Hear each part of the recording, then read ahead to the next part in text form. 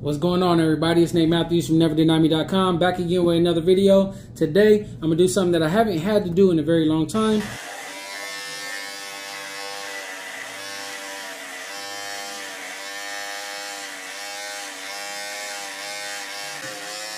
Went ahead and grab this. If you guys are looking for the same thing, having the same trouble as I'm going to explain in this video, I'll have a link for this down below go ahead and pick it up and it's going to make your trimmers like they're brand new again. This is the T-Wide replacement blade and this is good for the basically the five star series of trimmers which uh, consists of the detailer, the retro T-cut and the cordless detailer lithium ion, which I do have right here. And we're gonna be replacing this blade. Reason why we need to do this is because even though I can use these right now and it will actually take the hairs off, it's actually gonna require it to take uh, multiple passes. It's not gonna just be a smooth cut and just tap it and it'll just be done. I actually would have to go over the same spot multiple times, which would be a cause for possible razor bumps, uh, razor burn instead of it just being like a nice clean cut. It basically tugs the hair out and it starts growing back. That's what gives it that curl. There are other blades that fit on here. There's the regular T blade and then the T wide blade. So these ones are of course wider. Actually gives more coverage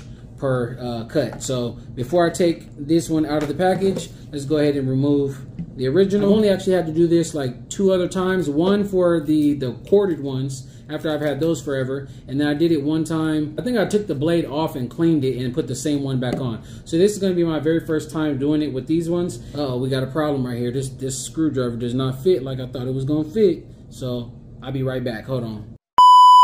Alright guys, I'm back and we have been saved, luckily, with a different screwdriver. So, we're going to start by going ahead and removing both of these screws right here. Don't mess with the stuff all up in there. You're to make your whole clippers fall apart. All we need is this blade to come off. And once we take it off, the hard part is going to make sure that we zero gap them, making sure everything is fully level. Otherwise, you could injure yourself pretty good. And we don't want that, so make sure you watch the video closely as to what I'm showing you and what I'm saying, how I'm doing it, how things are going to be put back together. And I do believe I actually recorded this one other time. So if this video doesn't give a very good explanation for you or you want to see it, you know, in another way, I do have another video. I'll try to add that to the card that pops up and you guys can learn from two different videos from the same guy. It easily pops off right there. And before I even clean it off, I'm just gonna set that to the side. But what I will clean off is the inside of this. I would also suggest that if you guys have a a air compressor to blow some air up in here because there's a lot of hair coming out of there if you guys can see that. I know it's a dark background, but yeah. There it is got a good bit of hair in here and the reason this hair doesn't really come out is because when we oil the clippers the oil causes it to get you know a little sticky in here brushing some out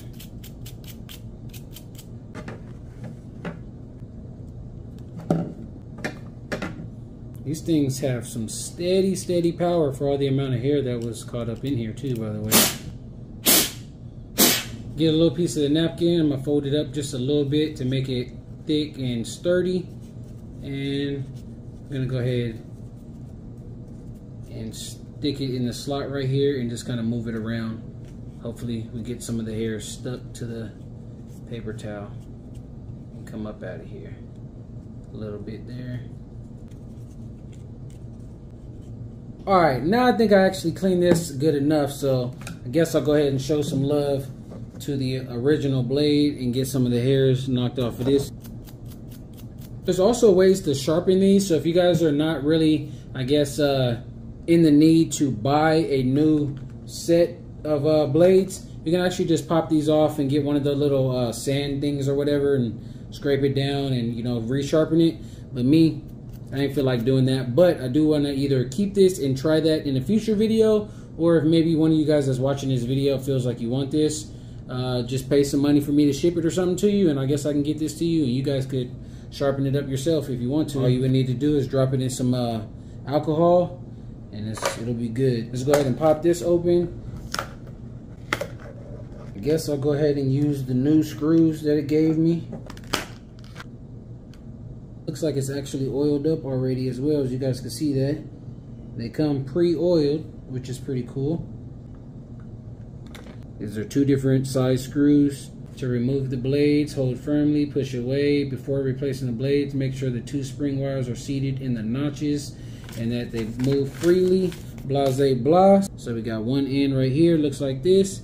The other end like this with the gap in the middle. You want to kind of put the little thing in the gap. So once you get it in there, it slides, as you can see like that. It does look like it's zero gapped pretty much already. Let me compare it to this one. I never adjusted these blades at all. They're just about the same. You guys can see the gapping and stuff like that on them. Just set this back on here. I'm setting these two notches right here onto the holes right there. Set those in there. And then this thing, it springs down. If you can see this right here. It springs down. Once you press the spring down, it'll give you access to the top two screws right there. Set these on here and we'll be good. Now when you're actually putting the screw back, don't tighten them up all the way because you don't want this thing to be crooked. Just tighten it up just a little bit just to get it in there and hold some tension. And then we're going to make sure that the blade is set evenly before we tighten it down fully. So there it is. So it's on there. Still got a little bit of spring action still open. Now I want to make sure everything is still centered and even. The blade is pushed up as far as it can go. We should be good. There's one. There's two. Matter of fact, I think that's why they gave me the different screws because again, this is not just for this trimmer. It's for like three different kinds of trimmers. So the other ones might use these type of screws. So again, use the screws that look most comparable to the ones that you're replacing. Looking at them, they seem to be spot on. Y'all see the focus right there? That's pretty cool. Again, this is the original. You guys are not going to be able to tell like the difference kind of, but trust me, this one was getting pretty dull. So we threw a new blade on there. This is how they sound. Very, very sharp and powerful. And I ain't even had them on the charger for quite a while too. So they do hold their power, power for a little while.